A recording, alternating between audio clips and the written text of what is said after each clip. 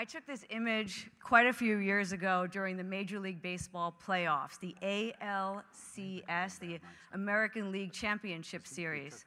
The game was slotted for a 3 p.m. start time, which is unusual for playoffs. Usually, um, especially in a big market like New York City, games would start at 7:30 or 8 p.m. And I thought on my way to the ballpark, wow, we could really get some some special light for this game. I, I wonder if I could make a special picture. So I got to the ballpark early, as I always do, and I traversed my way up to the top before fans arrived to the stands, into the ballpark, and I scouted a position that would require me sitting in a fan seat to make this picture.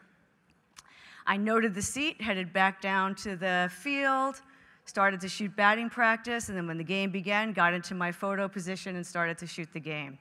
And in a game like this, there's probably 50 or more photographers, and we're all pretty much shooting the same thing. And as the game progressed, sure enough, the light just got more and more beautiful.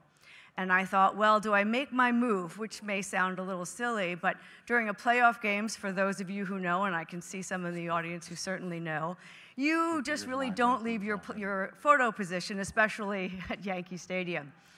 But I decided I'm going to do it. I'm going to make my move, and I traversed my way up to the top, the taking the stairs through the 55,000 people, and found the seat, introduced myself to the fan, and lucky for me, he said yes, I could shoot from his position.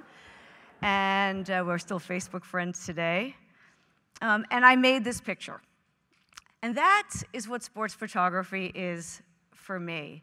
I'm not interested in making 200 mediocre pictures. I'm trying to make one, to make one special photo. And sometimes you take risks to make that photo, and sometimes there's, for your risk, you have no reward. You know, what if I miss an Aaron Judge home run? Okay, no risk, no reward. I got so excited after I made this picture that I wondered, what would it be like outside with this beautiful late October light that you only get, you know, in the later months during baseball? So I went outside and I made this picture against the facade. The light was so beautiful, and by the time I got back inside, got through security, got back to my photo position, all the photographers in my section were saying, is everything okay? Are you okay? Where have you been? You missed so much. But I was more than okay because on that day, I made a special picture. One of my photography heroes, and probably yours as well, is Henri Cartier-Bresson. And these four quotes from him sum it up for me. And you may ask, well, what does a 1940s surrealist photographer have to do with a modern day sports photographer? And for me, it's everything because you can't make a great picture unless you know what one is. So these four quotes, if I go to a place that's trying to make a picture that concretizes a situation, at one glance says everything. A strong relation of shapes, which for me is essential. A visual pleasure, geometry, structure, an intellectual pleasure to have everything in the right place. And the difference between, and all you sports photographers know this, between a good picture and a mediocre picture, it's a question of millimeters, a small difference, but it's essential. And my favorite, it's seldom that we make a great picture. We have to milk the cow quite a lot and get plenty of milk to make a little cheese. As my photography career in sports progressed, I became the traveling photographer for the National Baseball Hall of Fame and Museum. The museum wanted to attract a younger audience. The marketing department wanted to attract a younger audience through social media. Social media was just starting to heat up in baseball and in the world. So they tasked me with tying the contemporary game back to history. And it was tremendous years of growth for me, um, and my job became far more reaching. And it was there that I learned to become a visual storyteller. And it also gave me a year round shooting schedule in baseball, which I still have today, starting in spring training And then every four years, we have something special called the World Baseball Classic, which is where all these countries participate for who's the best in the world. This year, it was 20 countries that participated. Japan and Shohei Ohtani was the star of the show, and they took home the trophy, and so was their manager. And it's very special because they're playing for country pride, and it only happens every four years. And the regular season then begins, and I travel to ballparks, shooting the game and storytelling the Major League game. And then the postseason begins, and it starts with a wild card, it ends with a World Series, and people will ask me, Well, who's your favorite team? Who do you want to win? Who are you rooting for? And it's not a cop out. I really don't have a favorite team. All I'm looking for is to always root for a game seven because I never want it to end. But it does end, and somebody gets a trophy, and then there's a parade. And then the fun begins because there's baseball played somewhere in the world all the time. And then the Caribbean series, the, well, the, the baseball in the Caribbean, all of their seasons begin. Puerto Rico, Cuba, Venezuela, Panama, Mexico, Colombia, and all these countries play their regular season, and then they play what's called the Caribbean series. And this year, this past year, Colombia won for the first time in history, and it was it's a very exciting level of play. It's very festive, and they're playing for country pride, so it means a lot for these countries to take home that trophy. While shooting the professional game with the Baseball Hall of Fame and before then, I always continued to shoot the amateur game, the grassroots game. And still today, it's my favorite part of the game. It's before money and contracts and lockouts. So if I'm in Japan and I'm shooting the World Baseball Classic, I take time to find a Little League game in Tokyo. Or if I'm in the Dominican Republic shooting Winter League, I might wander the streets of San Pedro de Macorís looking for baseball. High school games in Mobile, Alabama, Little League games in Oakland, California, old guys playing stickball on the streets of New York City. This is singer songwriter Paul Simon his second round of me and Julio down by the schoolyard. A pickup game in Havana, Cuba. And that's how my first book, Grassroots Baseball Where Legends Begin, came about. I connected with Hall of Famers and asked them if they would tell their stories of their young years, their younger years of playing baseball in the regions they grew up in. And I had a chance to work with the Hall of Famers, taking portraits and doing projects with them. But this was very special because their stories of their younger years was something that I hadn't heard before. And everybody knows about their playing years, but their young years were just not told. And so I paired them with these images, these grassroots images for each section. And guys like Rickey Henderson just told great stories of what it was like growing up. He said that he didn't want to play baseball, he wanted to play football. His mom wanted him to play baseball, and we all know mothers know best. So, uh, so anyway, she, uh, the mom had the coach pick uh, Rickey up uh, after school to go to practice, and in the back seat would be a glazed donut and a hot chocolate waiting for him, and that's how he decided that baseball might be his sport. Guys like Hank Aaron from Mobile, Alabama, tells an incredible story of what it was like. He started in the Negro Leagues and then played in Major League Baseball at 20 years old with the early days of integration. And he had tremendous adversity that he faced his whole baseball career during that time in the 1950s, early 50s. I had a chance to photograph Hank Aaron's childhood home in Mobile, Alabama, and I invited four historically black high school baseball teams to join me at Hank's home and pose for this picture. And I invited them all to please come in full uniform, and they're teenagers, so I wasn't quite sure who was going to show up. There was only one day where they didn't have games and they just had practices. But they did. They showed up, and we made this picture, and we talked about Hank Aaron and what it was like for him growing up with this tremendous adversity. And then we talked about their adversity, their socioeconomic adversity because baseball has become an expensive sport and it's really divided the have and the have nots, where equipment is expensive, private lessons, travel ball that a lot of kids can't afford. So we took this picture and we talked about a lot and we left uh, Hank's rocking chair open in honor of him. Guys like Whitey Ford talks about how wonderful it was to grow up in New York City and then have the chance to work and play for the New York Yankees back in the 50s.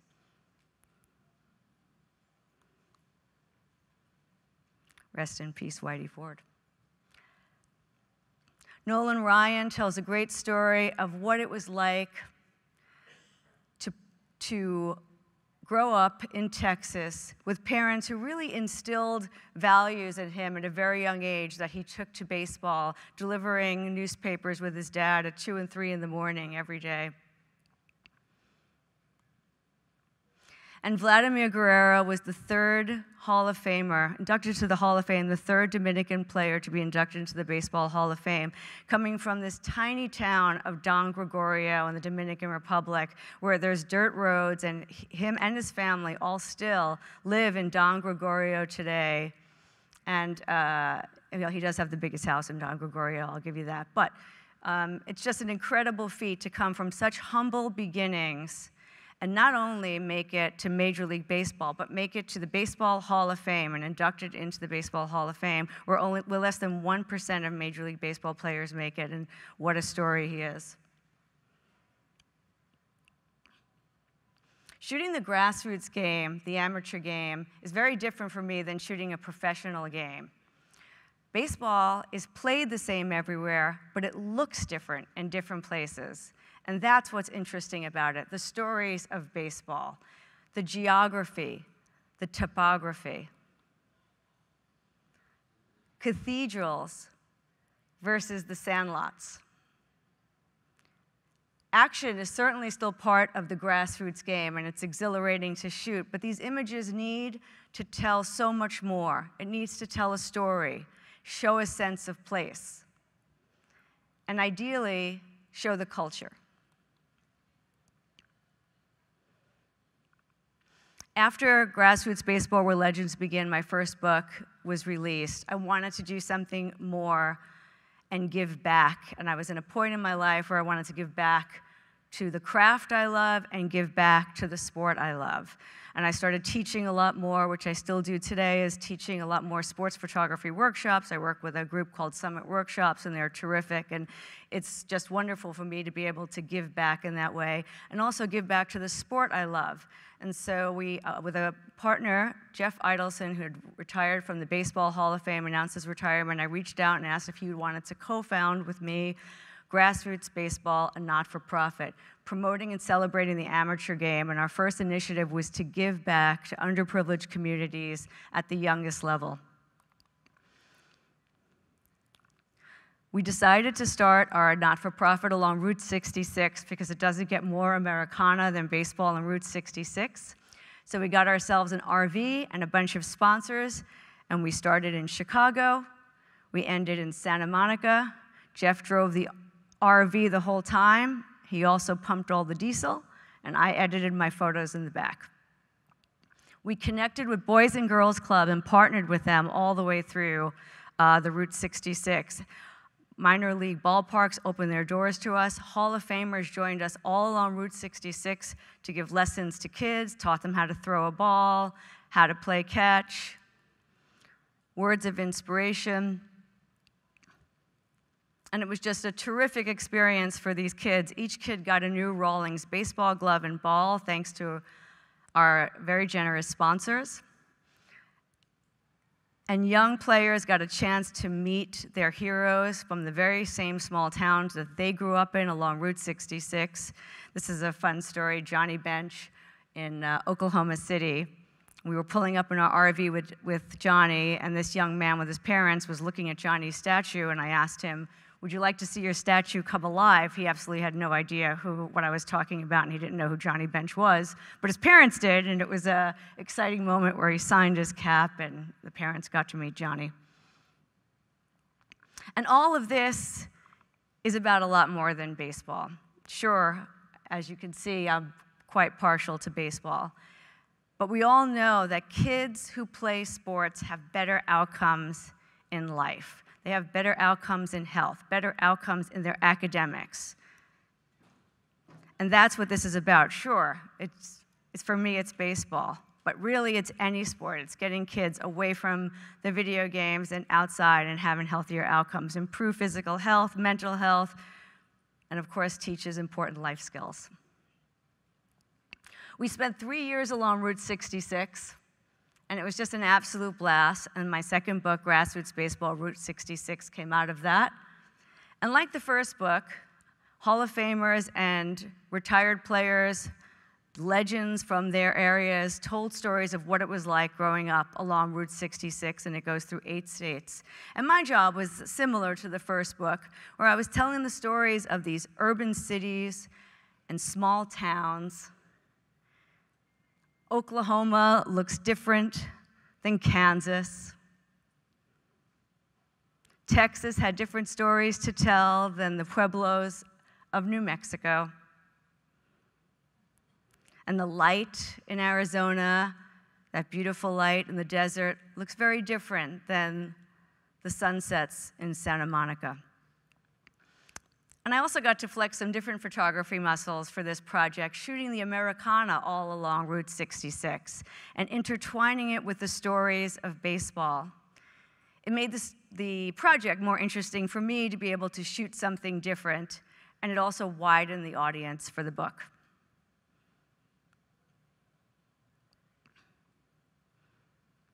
This is the balloon fiesta in Albuquerque, New Mexico. I was supposed to shoot this my first year of the project, and the timing didn't work out, and I missed it.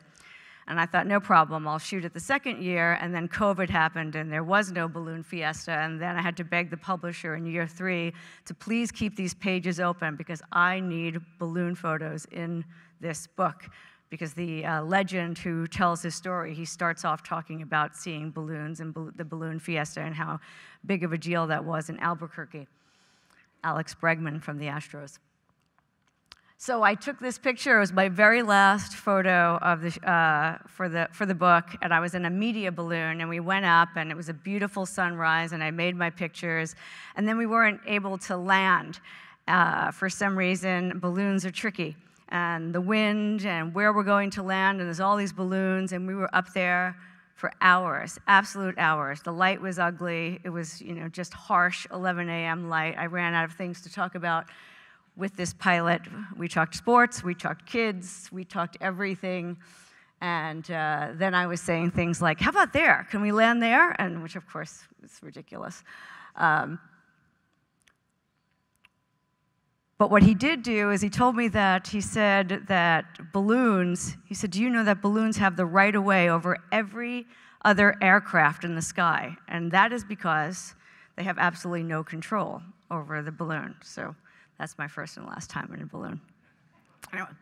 Uh, so the train's rolling down the track, and Grassroots Baseball, our not for profit, it now has a new initiative, and we are telling the stories of women and girls in baseball, past, present, and future, and around the globe.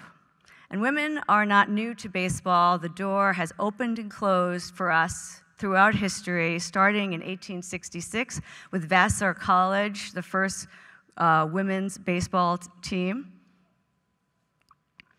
And then uh, during World War II, our Major League Baseball players went off to war, and Mr. Wrigley, who owned the Cubs, um, sent his scouts out to look for women's softball players and convert them to baseball players. And that's when the first Women's Baseball League uh, came about the AAG PBL, the All American Girls Professional Baseball League. I had a chance to interview a few of these women. One is Maybelle Blair, 95 years old. She was one of the women that A League of Their Own uh, was based on. Here's a little clip of Maybelle. We followed a pretty strict one. code, you know, ladylike skirts, lipstick along with your mitt. You know, what was your reaction to wearing it when you saw the uniform you were supposed to wear and having a look at it? What'd you think? No problem whatsoever. You know, the only thing uh, I didn't like about it is when you slid, you'd get gravel in your rear end, and it's still sticking here if you want to feel it.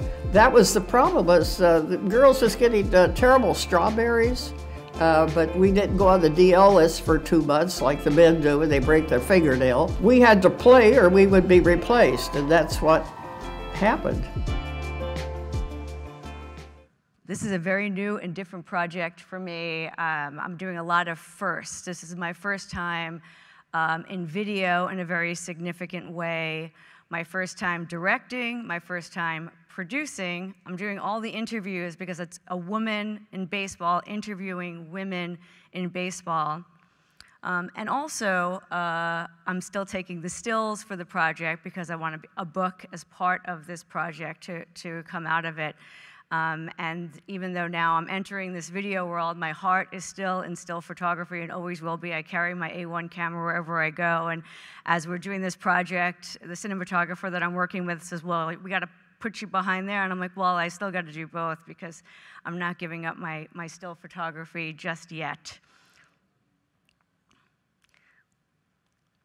And the thing about, just going back for a second, um, doing something like this, doing something new for the first time and having this, you know, momentous uh, project with so many news, working with partners like Sony and like B&H is so important to me, and I do want to make that, and you can say, well, this is a plug, and yeah, I guess it is, but having partners and having companies that you're working with that where your values align really mean a lot because you're, you're trying to do a lot and you have a lot of questions, especially with this video gear for me. I need, I have so many questions about how it all works and what I'm supposed to be using, and, and anybody at B&H can help me, you know, and that's a really important thing. It's not about just buying the gear, it's not about just selling the gear. It's really a partnership, and it's really a big reminder now that I make, I make the phone call, and in a day and age where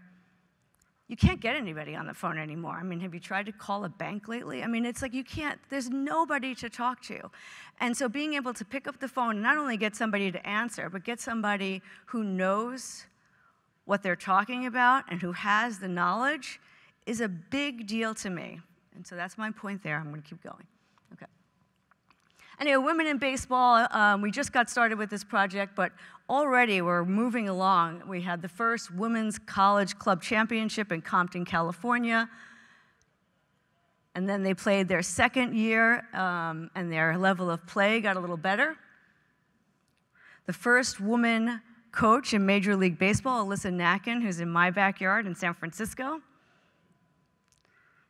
Kellyanne Jenkins is uh, one of the 20 women who are playing college baseball, played college baseball on all men's teams. And uh, she, uh, I got to shoot her and interview her, and she let me know that um, she didn't want to switch to softball when she got to high school. So she told her dad she wanted to stay in baseball, and her dad taught her how to throw a knuckleball to keep her in the game longer and be, enable her to compete against the boys.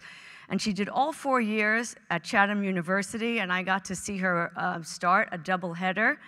And I got to see her, her knuckleball, and I can tell you that she mastered it and she got the win. So it was very exciting to see Kellyanne Jenkins. Veronica Alvarez was a roving pitcher, uh, catching instructor, excuse me, with the Oakland A's, and now she's been promoted to international player development and works out of the Dominican Republic.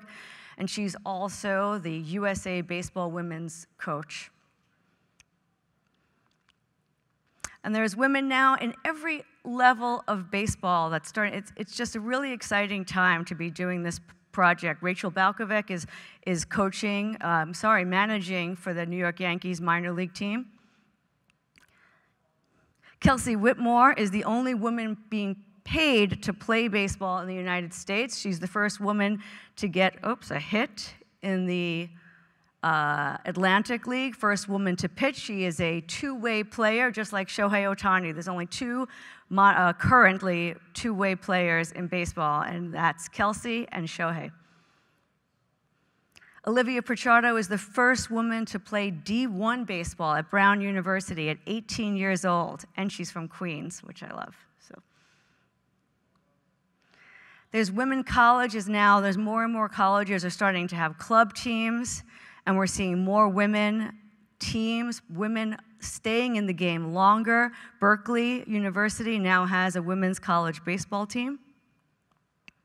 And the youth is where it's at. There is over a thousand girls playing baseball across the United States, mostly thanks to an organization called Baseball for All.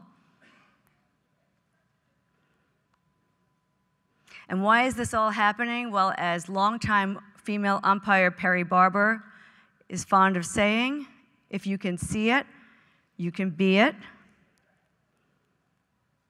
And just like our first initiative, this is so much more than about baseball. Oh, this one works, okay. You play ball like a girl!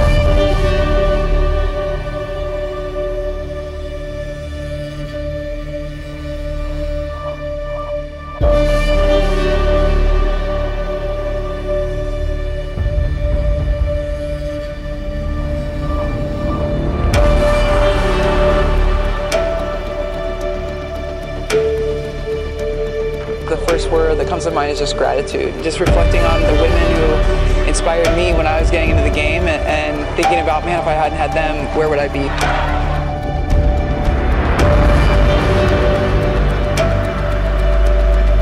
What took so long for someone to hire Kim to be a GM?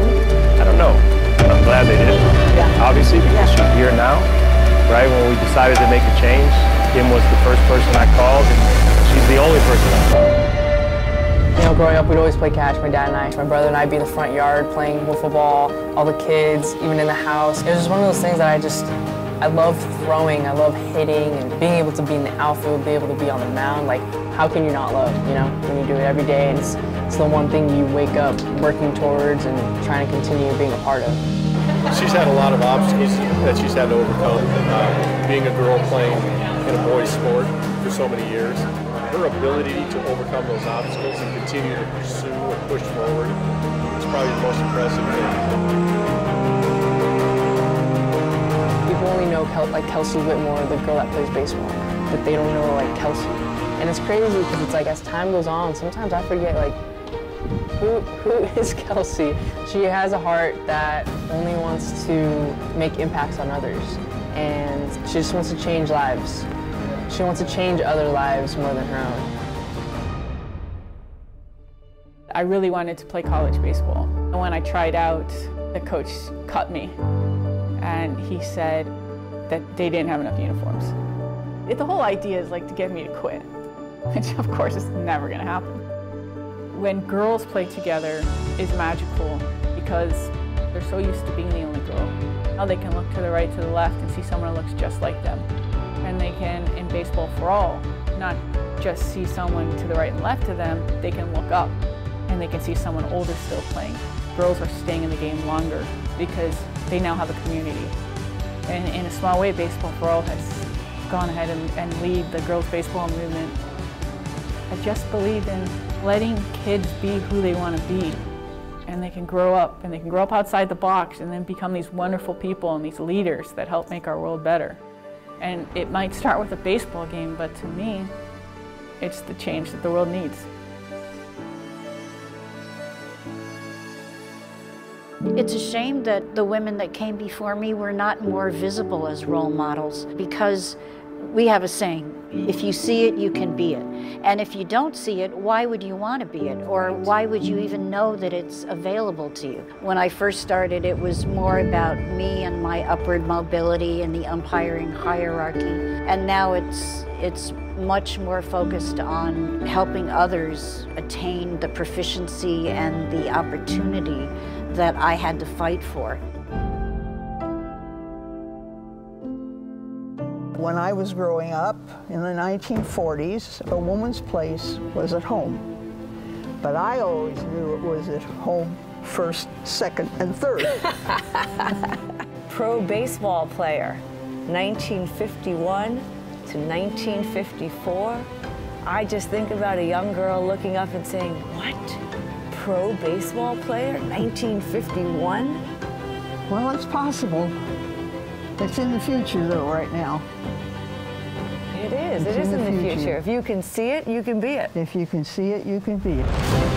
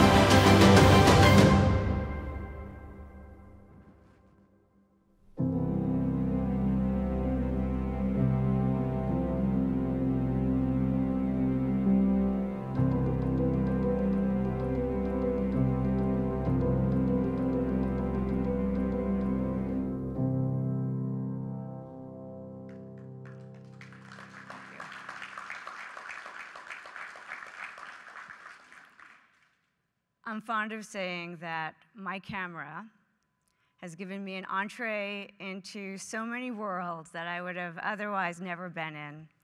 And certainly had an opportunity to meet so many people that I would otherwise have never met. And so I, I just want to thank B&H and I want to thank Sony for giving me the opportunity to meet all of you today. And, and thank you for listening.